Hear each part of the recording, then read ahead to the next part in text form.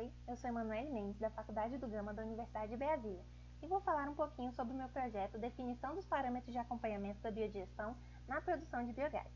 Hoje vou levá-los a uma jornada fascinante pela biodigestão anaeróbia e como podemos otimizá-la para a produção sustentável de biogás.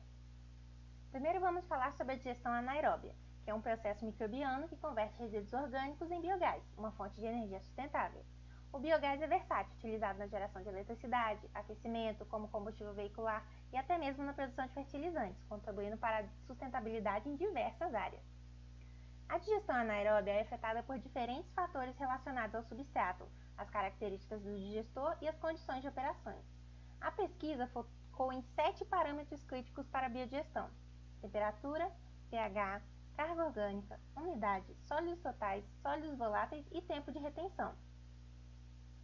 Durante a batelada 1, foram feitas as seguintes observações.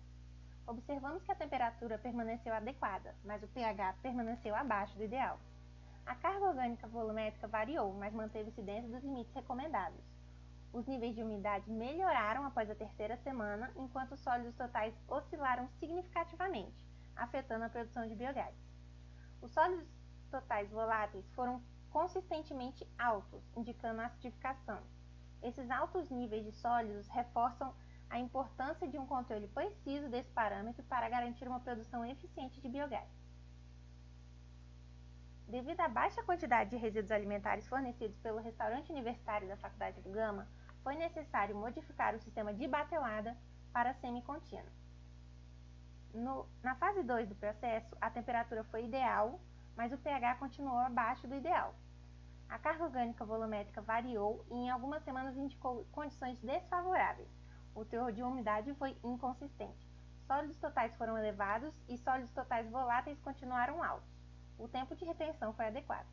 Esses resultados destacam a persistência dos desafios relacionados aos sólidos totais e ressaltam a necessidade de ajustes contínuos para melhorar o processo. Em resumo, a pesquisa focou na definição dos parâmetros de acompanhamento da biodigestão na produção de biogás. Na batelada 1, é observado como sólidos totais elevados afetaram negativamente a produção de biogás devido à dificuldade de acesso dos micro-organismos à matéria orgânica. Isso nos alerta sobre a importância de uma alimentação adequada e do controle dos sólidos totais para otimizar o processo de biodigestão.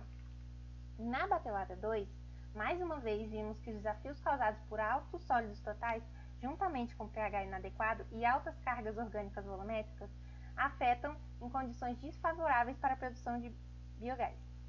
Os resultados enfatizam que a necessidade de um controle rigoroso dos parâmetros durante a biogestão anaeróbica. Para alcançar um processo eficaz e sustentável, devemos considerar cuidadosamente a composição do substrato, ajustar as taxas de alimentação de acordo com a capacidade do sistema e garantir uma mistura adequada. Além disso, é crucial monitorar constantemente os níveis de sólidos totais e pH para evitar problemas que possam comprometer a produção de biogás. Essa pesquisa é um passo fundamental para enfrentar os desafios da produção de biogás e nos leva em direção a um futuro mais verde e sustentável.